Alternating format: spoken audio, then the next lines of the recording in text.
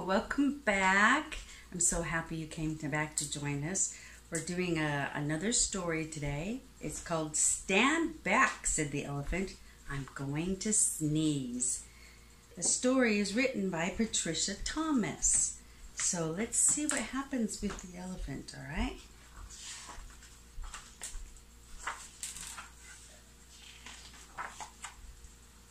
Stand back, said the elephant.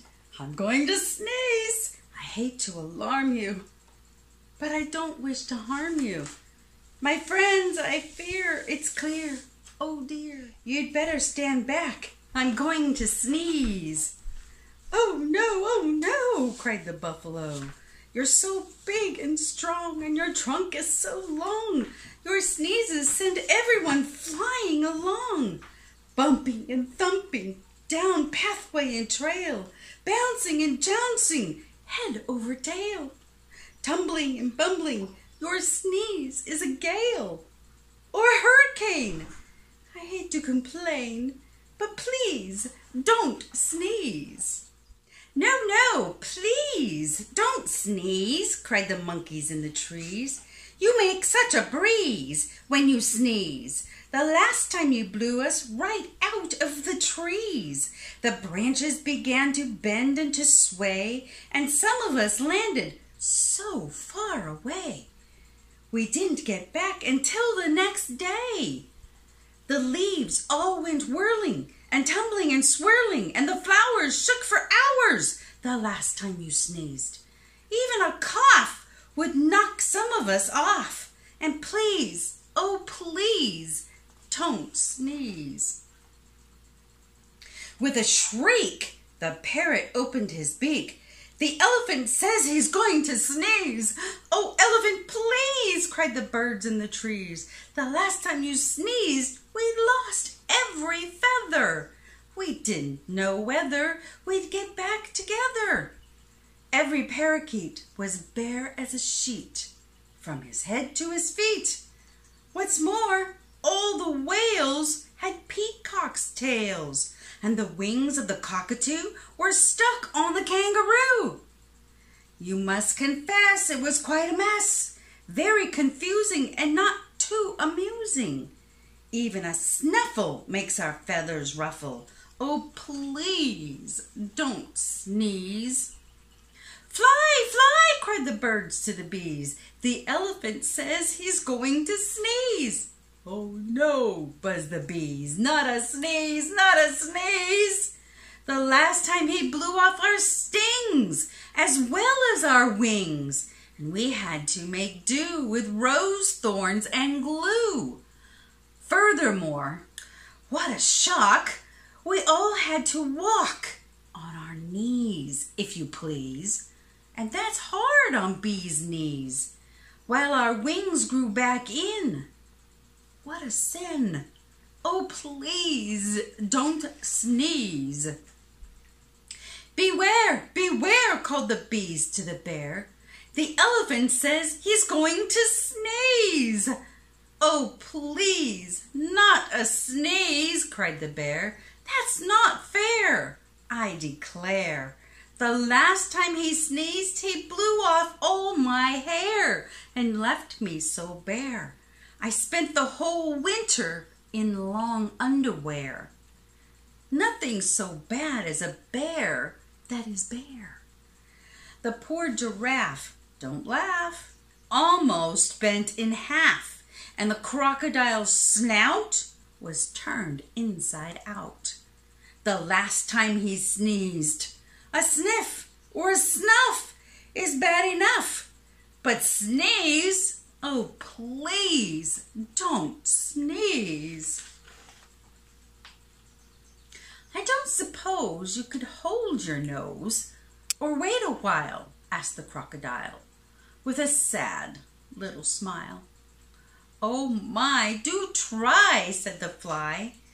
We wish, said the fish, you would if you could the last time you blew off all of our scales from our heads to our tails, and our gills got the chills. Our skin is so thin, if you do it again, we'll freeze.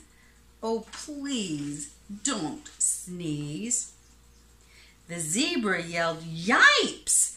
You'll blow off my stripes! Plus lots and lots of the leopard spots, and all of the snakes will be tied up in knots.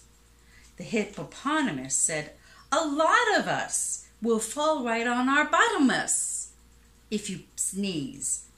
So please, don't sneeze. I'm so sorry, my friends, said the elephant sadly. About all of this, I do feel badly. If I could keep from sneezing, I'd do it gladly. But I have such a twitch in my trunk, and an itch, plus a bit of a tickle, and even a prickle. You must run, fly, and hop. I'm afraid I can't stop. I would if I could, but there's nothing to do. Ah, ah, boo! shouted a little gray mouse, jumping out of his house. He stood right up on his little tiptoes, stuck out his tongue, and wiggled his nose. Eek! shouted the elephant, jumping up in the air. That's a mouse! That's a mouse standing there! I must hide in a tree before he gets me, or jump in a lake, for goodness sake. Don't scare me.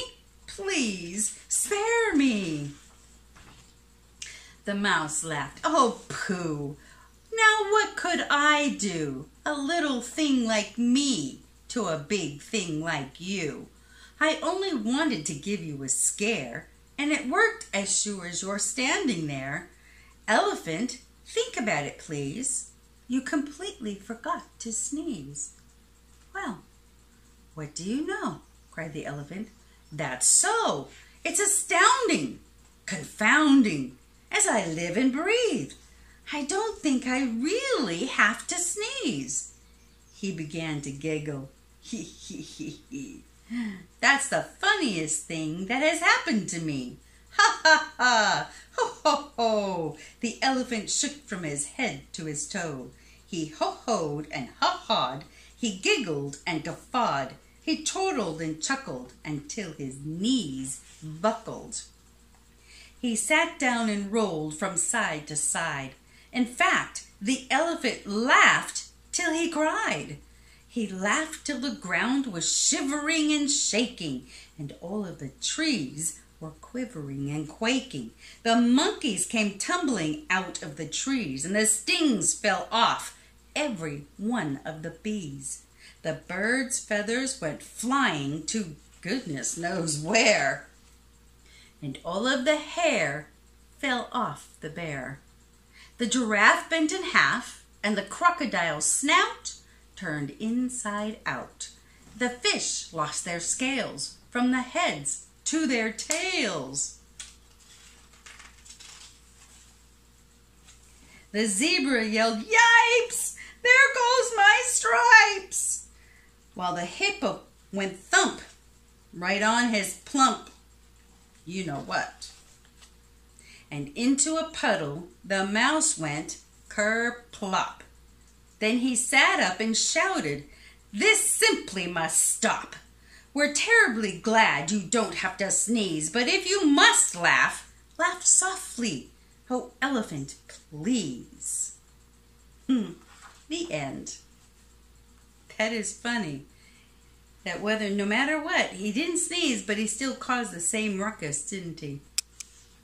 I want to uh, sh show you my favorite part. There we go.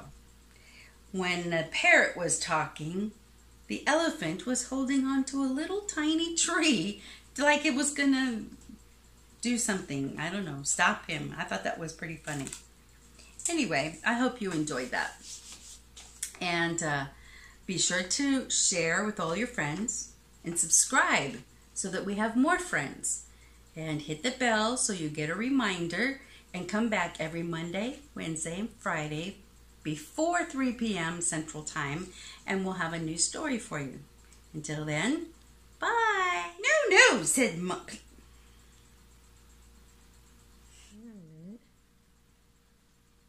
I was Oh, as well. Mm -hmm every every week of all the stories.